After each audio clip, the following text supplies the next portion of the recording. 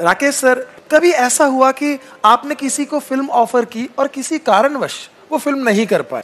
कहो ना प्यार है, मैं पहले करीना कपूर थी, लेकिन किसी वजह से वो कर नहीं पाई। करण अर्जुन में अजय देवगन थे, सलमान के रोल में, और उस वक्त पिक्चर का नाम भी था कायनात, जिसमें शाहरुख और अजय थे, लेकिन अजय किसी वजह से नहीं कर पाए।